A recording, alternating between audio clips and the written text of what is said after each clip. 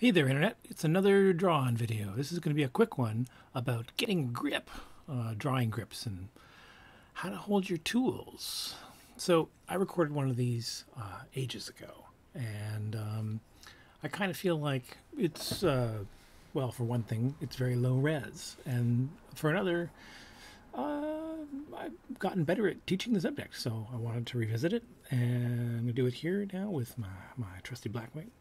Now, when it comes down to it, this is about how you hold your pencil and how it impacts the way you draw. Um, it's something that people don't often think about, uh, but it's actually really quite important. It's like how to use a tool and how to use it well. I'm going to avoid saying that there are absolute wrong ways to use your tool. Some people will tell you that. I don't agree that that's true. There are many people that develop kind of weird fisted grips or strange ways of doing things. A lot of left handed artists will draw with their hand way over this work so that they can avoid dragging in the art. Uh, but that kind of creates a locked system situation with your wrist and limits some of the movement.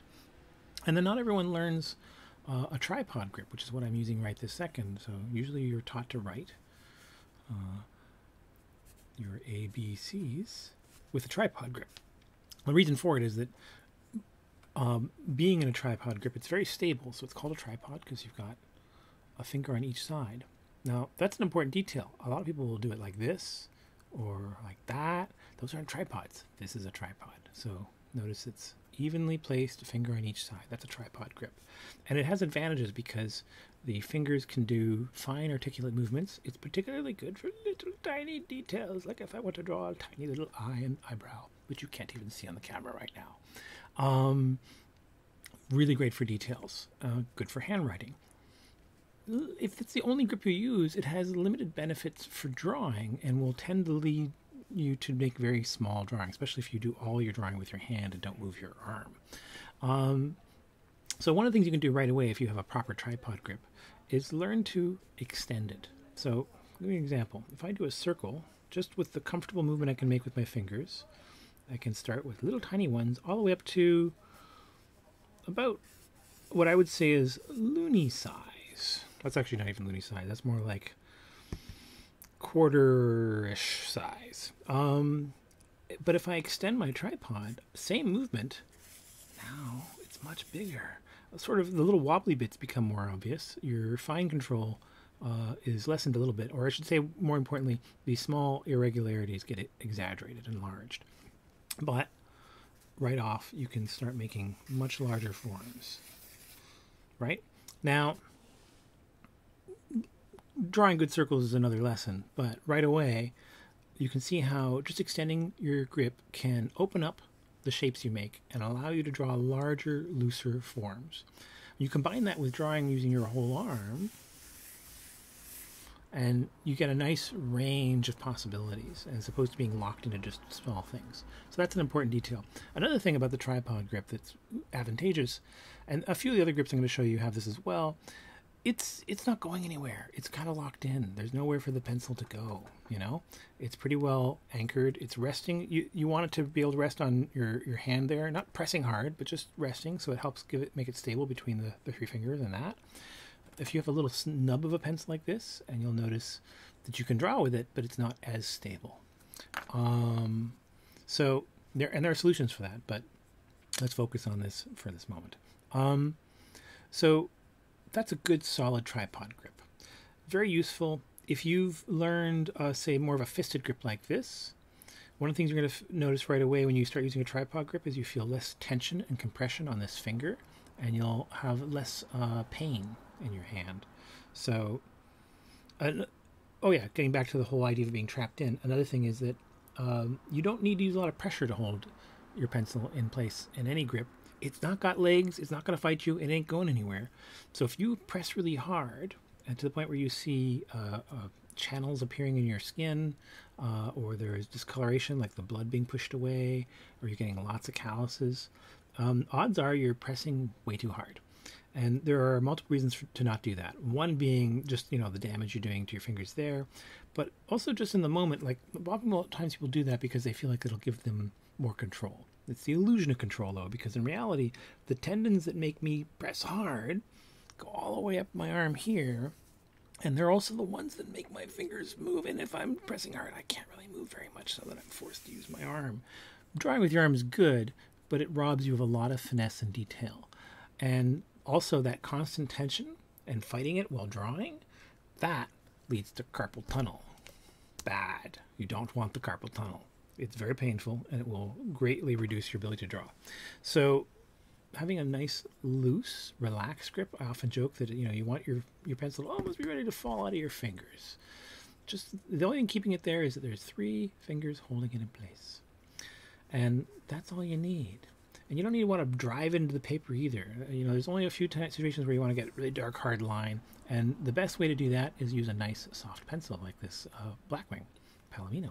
It's a I think this one has a number. It's just a Palomino. And, you know, I can do very light lines with it. I really like these Blackwings because they, they actually have a nice range and act like a soft pencil, too. So, um, rather than f- forcing lines in the paper, and if you if you really draw hard and you make gouges in your paper, it's actually a problem. You can't uh, erase properly and and uh, clean things up nicely. So, don't use a lot of force in the paper. Don't press super hard. Spare your tendons. Be nice to your hands. Uh, with a, a, thought towards that, remember to stretch your hands periodically. Do hand exercises, flex. Take care of your hands. It's your tools. Now, one of the things you can do right away, along with extending your tripod grip, is diversify the sorts of grips you use. Now, even if you've learned uh, to draw with a bit of a, a claw-like grip like this, you can keep using that if you're comfortable with sometimes, but have the ability to go to a tripod for the fine details. And then when you're drawing large forms, and particularly in like life art class, um, depending on your relationship to the paper, an overhand grip is particularly good for drawing large shapes because I'm more or less forced to use my wrist and elbow and get out of my shoulder to make those movements I can't really do it with my fingers. They're they're they're not free to move. You can do overhand this way, and that leaves you a little bit of wiggle. It's fine for like little tiny details and little bits of shading and stuff. Uh, you can do overhand this way, so now it's like lined up with my hand, and both work. You know that's fine. Uh, and then if you're at an easel, so the now the board's up this way, I do overhand this way. So uh, I, actually underhand technically and draw that way. Same thing. It it reduces the use of the small muscles and joints of your hand and makes you switch to using your arm to do large forms. If you're doing life art studies or the quick initial sketches to comp out a drawing and think about how is this thing gonna work? Oh, it's a guy doing a thing. Oh my God, he's jumping. Hey, woo! You know, it lets you draw quick, simple scribbles and opens up the forms and uh, helps you be looser um, when you don't want to get too tight right away. Very useful for quick study, quick sketch, even detailed drawing for large formats, um, and uh, generally handy. There is also, I just noticed an artist doing this. So you notice it's placed between those two fingers. And when I tried it, it's remarkably comfortable. It's also great, I think, probably for hacking any tendency you have. If you have a compulsion to grip really hard, this is, is a really good grip that feels nice and stable and doesn't lead to that compulsion as much. It's still a tripod. See? See what happens? It's still a tripod. But by moving it here, it's anchored more and it feels much more secure. And it's a really nice way to come at the drawing and also to get away from the idea of like being kind of behind the drawing. It makes you sort of come at it sideways. You know, I bet that would be an amazing grip for a lefty. A lefty? A lefty is what I was trying to say. I'm I'm technically as a kid I was ambidextrous. I have not practiced a lot, so I'm not really great with this hand. Whoop. But I think this would be an ideal grip for a left-handed person. Part of the reason I want to do this video is to address that grip. Um, as an artist, you don't want just one. So if you have a tendency to draw like this, well, you definitely want to address that because this isn't really healthy for what happens to your knuckles and you lose a lot of fine control. Um, but even if you have a traditional tripod, you want to diversify that and have other options. So think about it.